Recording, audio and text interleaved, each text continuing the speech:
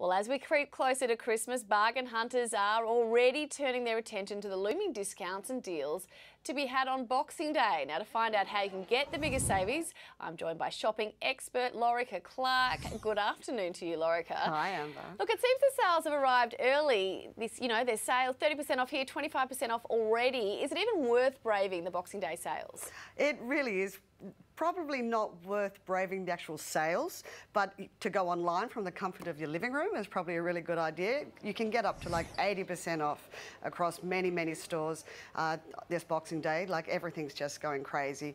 And uh, but if you want to really avoid the madness, you do pretty much stay out of those horrible car parks and out of the traffic and, uh, you know, stay home and do it from the comfort of your own lounge. So you're saying online is the way to go? Online is really the way to go.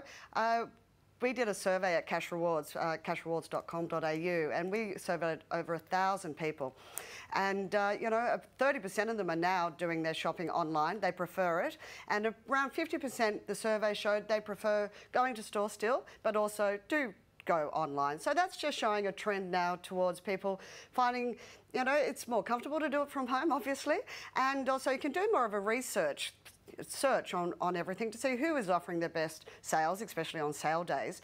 But also when you do go to cashback sites like Cashrewards, you can also get extra savings on top of that, which then gets back into your bank account in the form of cash. So you're getting a bigger you know, saving on top of the savings you're already getting. Okay, any last minute tips to make the most of those post-Christmas bargains? Well, look, social media is a really good one to keep an eye out for because you're following all your favourites anyway and they'll put out some special saving coupons or things that, that, they're going to be offering and throwing out on sale days like Boxing Day. Also, other ones are all those gift cards that you've kept in your drawer. That's a really good day to redeem those because you're going to get more bang for your buck on a day like that. And uh, also, you know, just keep an eye out for what you know, is trending and seeing, you know, keep, and keeping things in like your shopping basket when you do shop online because sometimes they stay there for a couple of days. And so when you get up in the morning on Boxing Day, you can go straight to your trolley and go, exit now, you know, and uh, it'll all be there. And maybe they've added some extra savings on top of that already, and you'll get an extra bang for your buck. Some so, great advice. Yeah. Thank you so much for your time. Thanks for having me.